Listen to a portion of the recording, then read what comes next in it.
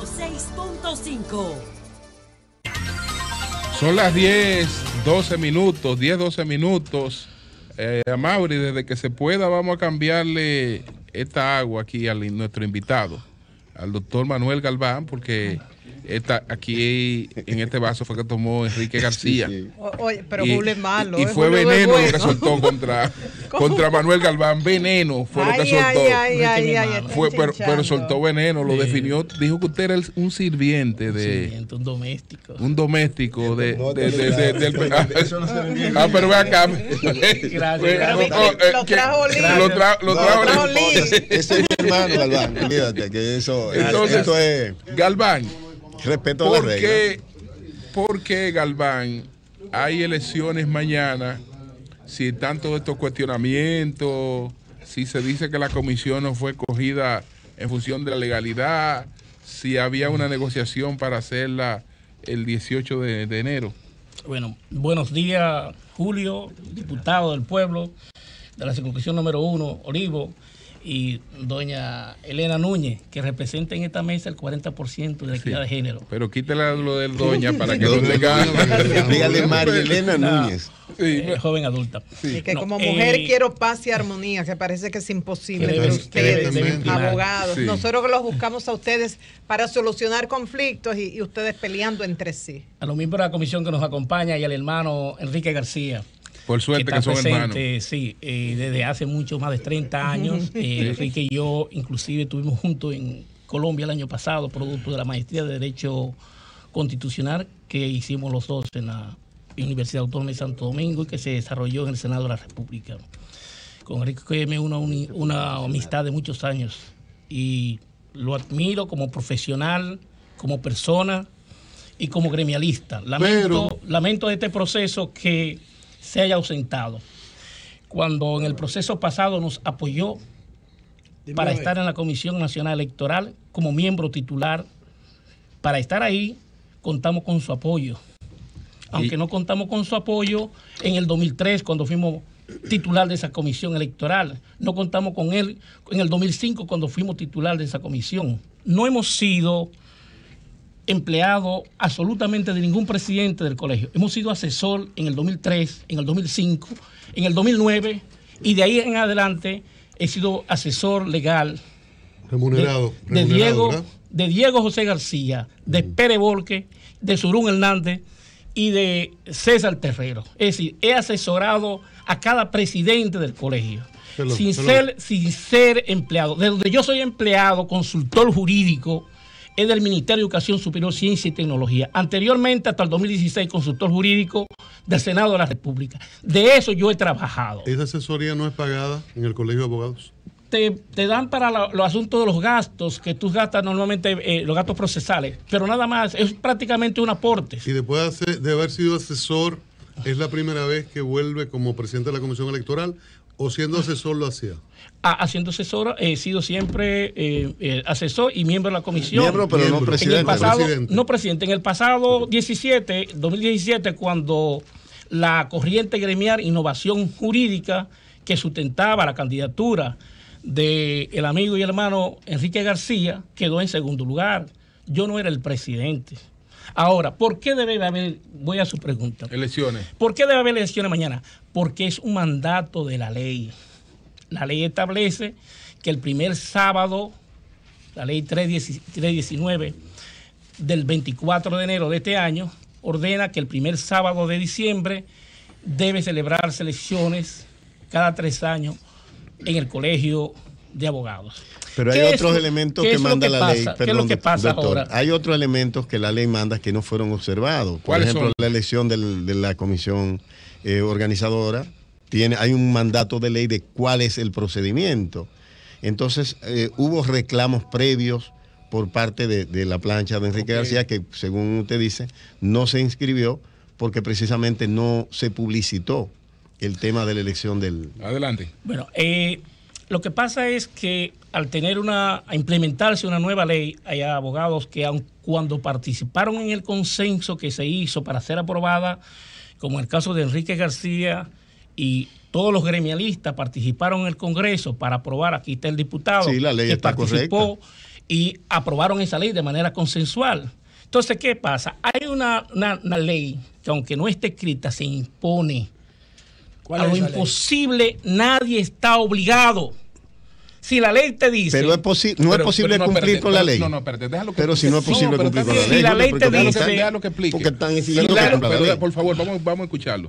Si la ley ordena, se promulga el 24 de enero y te dice que en un mes debe escogerse la Comisión Nacional Electoral. ¿Cuándo se vence ese mes?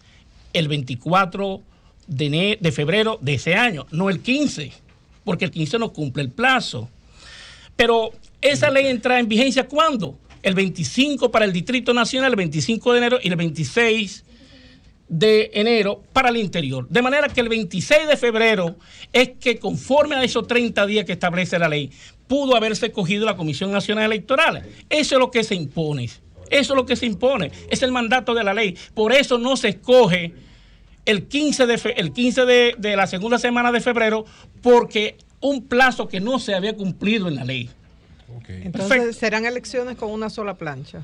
No, tenemos inscrito a partir del día 11, se publicó en los periódicos, hubo una resolución que se emitió y se llamó a los abogados, a la comunidad jurídica nacional, para que participaran en el proceso de inscripción que se inició el día 11 de noviembre a las 8 de la mañana hasta el día 16 ¿Cuántas de noviembre a las 5 de la mañana, a las 5 de la tarde. Se inscribieron seis planchas, seis planchas se inscribieron del nivel nacional y se inscribieron 16 de manera independiente y 35 adscritas. De ¿Dónde manera votarán los abogados? que se, No. se inscribieron 58 planchas. Ustedes saben por qué en esta resolución de inscripción y en la boleta solamente figuran la plancha 1, 3, 5, 4, 6 y 7. Porque el número 2 estaba reservado a quien quedó en segundo lugar conforme al reglamento que hizo esta comisión. ¿Ustedes saben para quién? Para la, para la, la- la corriente gremial de innovación eh, jurídica, Jurídica. que encabeza Enrique García. El número 2 no aparece en las boletas porque no se inscribió Enrique, que Doctor, fue, doctor, ¿Por qué lamento, no van a votar en los salones lamento de la que no haya- Suprema? no que dijo. Enrique, que el presidente de la Suprema dijo que no se iba a prestar. ¿Y por Parece qué más solic- motreto, pero espera, Oli. Mira, la- eh, eh, por primera vez eh, en la historia del colegio, desde la ley 9183, por primera vez la, la Suprema, que lo hacía de manera voluntaria y facilitaba los, los edificios para las elecciones. Sin embargo, por primera vez, la ley, el legislador ordenó a la Suprema Corte de Justicia, a la Procuraduría General de la República, y a la Junta Central Electoral a coordinar, conforme al artículo 32, numeral primero, a coordinar con la Comisión Nacional Electoral las elecciones del colegio. ¿Qué hizo esta comisión? Nos dirigimos a la Suprema Corte de Justicia, al Consejo Nacional de la Suprema Corte de Justicia, a la, a la Junta Central Electoral, para que coordinaran conjuntamente con nosotros y a la Procuraduría General de la República. El trato que nos dio, nos dio la Junta Central Electoral, eh, la Junta Central Electoral, de manera particular su presidente, fue un trato diferente. Y siempre estuvo pendiente a colaborar conforme a la ley. ¿Y por qué van a votar en Y nos facilitó, gracias a la Junta Central Electoral, es un reconocimiento que tenemos que hacer a la Junta Central Electoral, gracias al apoyo que nos ha dado la Junta Central Electoral, se van a celebrar, de logística, se van a celebrar estas elecciones. Sin embargo, la, Junta- la Suprema Corte de Justicia, con esa decisión, se pone de espalda a la ley, porque la ley le ordena coordinar con esta comisión y con todas las comisiones en lo adelante a coordinar y a supervisar el proceso electoral del Colegio de Abogados. La comisión del colegio no puede actuar sola, es de manera institucional. Doctor, Entonces, ¿por qué el presidente que solicita las escuelas y no ustedes?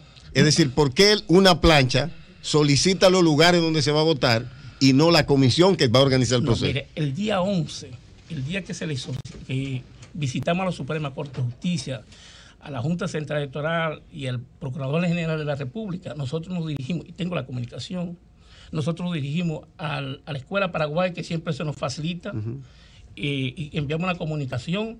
Y antes de el presidente enviar esa comunicación a, al ministro, ya nosotros teníamos probado eso. Desde el día 11 de noviembre nosotros tenemos Sí, pero la comunicación pudieron haberla hecho a ustedes, que hubiera dado la legitimidad al proceso. la- Sin embargo, lo que veo es una comunicación del presidente del colegio. Pero, pero la que, la que hizo la comisión. ¿Usted la tiene ahí? Sí, bueno, esta- Bueno, esta no doctor. la tengo acá, pero eso la hicimos. La hicimos. Ah, no la y en el día de ayer, bien, La que y la de- tenemos la también, la comisión contra- tiene, Ok. eh, la comisión tiene, hermano Julio, la comisión tiene dirigida al jefe de la policía la protección y ¿Por la supervisión del se- proceso en el día de mañana. ¿Por qué eh, la participación del doctor Surún, eh, que eh, por, por, eh, los estatutos está prohibida su, su participación? ¿Por qué se permite? ¿Usted tiene esa lectura? Claro, y lo sabe el hermano Enrique, compañero de maestría de Derecho Constitucional. El- los abogados constitucionalistas saben eso. Y esto que está pasando en el Colegio de Abogados no es nuevo, Julio. Ya esto pasó el año pasado en el Colegio de Notarios, que hoy apoya a Jul- a- a- a- al hermano Enrique. Pero esto pasó en el Colegio de Notarios. Eh, el actual presidente, mi amigo de infancia, eh, Pedro Montero, venció sus dos periodos y vino una ley nueva y se religió el proceso pasado y demandaron, muchísimas demandas se produjeron como ahora. Y el Tribunal Superior Administrativo, hay sentencia de eso, hay precedente, no suspendió ese proceso nunca. Pero anteriormente a él, La, la estuvo- nueva le, le agregaba una el anteriormente a él, anteriormente a él, estuvo Luis Viche Marrancini, que en dos procesos, en dos eh, eh, periodos donde hubo la intervención del legislador con nuevas leyes, se, regi- se religió por un tercer y un cuarto periodo. No estamos Es de la falta de otro, Ahora doctor. bien, no. Eh, doctor, estamos- no hay una legal. prevalencia de la falta de- de la institución que ahora. debía respetar y- Va- y vamos al marco legal. Ese artículo 16, hubo una demanda en este proceso que para invalidar ese artículo 16, ¿ustedes lo que dijo el tribunal? Declaró inadmisible esa demanda. Yo acudí, yo acudí con Julio, él demandó el colegio en, el, en, en junio, demandó el colegio, y hay una sentencia en contra de él, en junio de, la- de este año. Mira lo que pasa con el artículo 16. Es que en el ordenamiento jurídico, hermano, de maestría, en el, en el ordenamiento jurídico nacional de la legislación dominicana existe lo que se llama la jerarquía de la Constitución. Y la Constitución en su artículo 110 establece el principio de la no retroactividad de la ley. ¿Qué quiere decir eso? Que la ley no puede tener un efecto retroactivo. Es decir, una ley que se, se- se promulga el 24 de enero del 2019 no puede ser aplicado a los candidatos del Doctor, la 2017. anterior establecía un solo periodo y él lo cumplió. Sí. Si, o, si lo aplican al anterior, no puede postularse. Y si es la nueva, no puede Tampoco. postularse tampoco. Sí, pero existe, lo, existe el principio de la de continuidad de la ley. No, es, no puede aplicarse, no puede violarse el principio de la retroactividad de la ley, de la Constitución. Por eso eh, se inscribe en virtud del artículo 16. Pero ¿qué ocurre? Pero en Julio, Ah, sin Enrique embargo- García insiste que se están diciendo falsedades. Sí, ya. Julio como coordinador Sí, sabrá sí. si le da Vamos a oportunidad. permitir, si es puntual, minutos, doctor, sí. puntual. Si no somos puntuales, nos puntual, llevamos breve. esto. Ok, si es puntual y usted Mire, también, y usted no, no, también, mire. y usted también después de puede Sí, tener una intervención usted puntual. responde. Dos Usted puntos. dos, puntual. Dos puntos. Ok. El doctor Osiris Isla, presidente del movimiento Morey, que incoó una medida cautelar de urgencia, atacando esta decisión de la Comisión Electoral. Y el tribunal la rechazó en virtud de que sabemos los abogados que cuando se deposita una medida cautelar, es una medida como un referimiento provisional y que hay que depositar un recurso principal administrativo. Y la sentencia lo establece a sí mismo. No conocemos el fondo, no vamos a evaluar el fondo. Y como no depositaron el recurso principal, rechazamos la demanda. Y el presidente, el- ay, que se dice presidente, oiga lo que cómo está desvirtuando todo. Segundo, la ley del colegio de notarios nueva establece una repostulación. La ley actual de los abogados dice que se prohíbe la reelección. No pueden usar el paralelismo, no pueden usar el método comparativo, son diferentes totalmente. Ok, escuchemos al doctor. Responda, doctor. Bueno, lo que pasa es que yo también soy eh, titular del Tribunal Disciplinario del Colegio de Notarios y conozco bastante la, los precedentes. Eh, el hermano Enrique debe tener, tomar en cuenta también que dictamos una resolución que él no esperaba. En la historia del colegio no ha habido una comisión tan transparente como esta. No ha habido nunca, y lo emplazo, a él y a todos los que han pasado por ahí, que busque una resolución como un manojo que tenemos nosotros y hemos publicado, y él lo sabe. Pero lo Una que él establece quejas- sobre la ley, doctor. Una de sus quejas Eh, fue doctor. que no le facilitaban la información, no tenía acceso a ello. Eh, Pues mire, doctor, lo que él establece sobre la ley, de la de que establecía una repostulación, la del notario, y esta establece definitivamente la Y lo de la prohibición. sentencia que yo digo que te le estoy reportando Ok, él la no, sentencia. adelante, esos Lo- puntos, esa- esa- Esos tres puntos, los- ¿cómo los lo valora? casos. Esa, esa sentencia de, del Tribunal Superior Administrativo que rechazó esa demanda, declaró inadmisible, es el producto de la improvisación de los abogados que participan ahí, excepto los que llegaron ahora, que buscó, Enrique tuvo que auxiliarse de unos, eh, unos refuerzos. Esa sentencia le rechazó esa demanda. Es decir, que la por vivataje es lo que se está imponiendo. No, no, no, eso, eso lo- no lo dicta la vivataje, eso lo dictan los jueces. Y nosotros como comisión, Julio y María Elena y lo demás. Y el otro aspecto, eh, ya, eso es una decisión, eh, por lo que sea, fue, no, se- fue, no fue acogido eso. Ahora, la, lo- la otra parte, lo de la diferencia entre lo que establece la ley del colegio notario y la del colegio de abogados. Las dos establecen lo mismo porque ninguna tienen un transitorio que le impida al presidente de turno reelegirse. Pero por Dios. Ve, Pero no no lo la reelección, No, por el principio, por el- lo que pasa es que ustedes tienen que ser constitucionalistas y, y saber el derecho constitucional. No puede usted violar el, el- el principio del artículo 110, que Julio, no- eh, eh, el hermano Enrique no lo ha citado. El artículo 110 de la Constitución no puede ser violado. Y sobre ese artículo 110, debió haberle dicho que esta comisión dictó una resolución para que todos los abogados del país, que son 68.100, 34.000 están al día al día de hoy, Los electrónicos son los Él debió mirar lo que hizo, y lo que hizo su, que él 34 dice que es su líder, Danilo, 34 respet- respetar la constitución. En todo el país tienen derecho a cesar mañana a votar con el carnet nuevo y con el carnet viejo. Bueno, pues- Todos Bueno, los esto- abogados del país pueden no acudir mañana solución. a participar. Una sola plancha entonces. No, él hay dijo que se 56 escribieron planchas, sí. No, no, para presidente. Una Seis plancha. planchas para Dice- presidente. él dice que se Seis. inscribieron otras planchas. Seis ¿Cuándo? planchas. ¿Cuándo se inscribieron? De- Surín Surín Mira, están, están publicadas en la resolución cinco. por orden ¿Cuándo, llega cuándo, entre el día cuándo? 11 de noviembre y el día 16 de Bueno, noviembre. Seis planchas participan mañana. Así bueno, es. pues muchas gracias al doctor Galván. No muchas gracias afuera. al doctor Enrique García. No, dicen Ya que la no- gente que saque su conclusión. Dicen, dicen que no hay problema, no, porque tampoco está, ¿cómo que se llama? De que Vergia Soler, que es rebusera. No, Vergia Cambio no,